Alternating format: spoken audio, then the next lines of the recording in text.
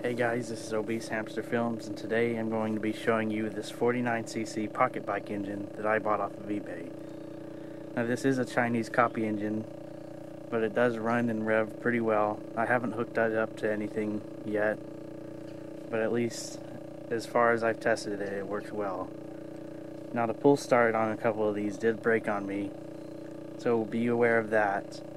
I think as long as you treat it right and you're starting it gently, it should work okay for you.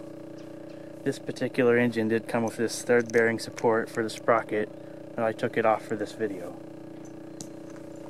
I am starting this engine warmed up because it has been running a few times in the past 30 minutes, but when I cold started earlier, it started pretty easily, with just a couple of tries, especially when you have your air lever in the right spot.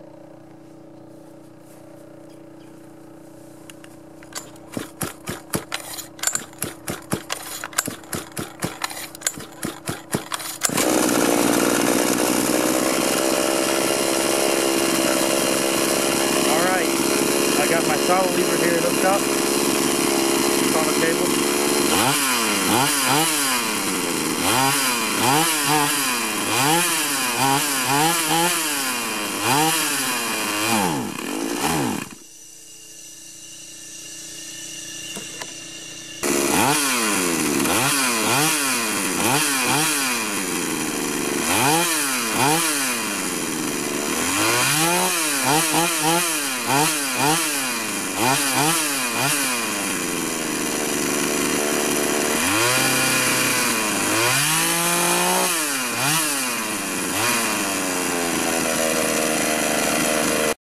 Okay guys, sorry about that. It just ran out of gas there.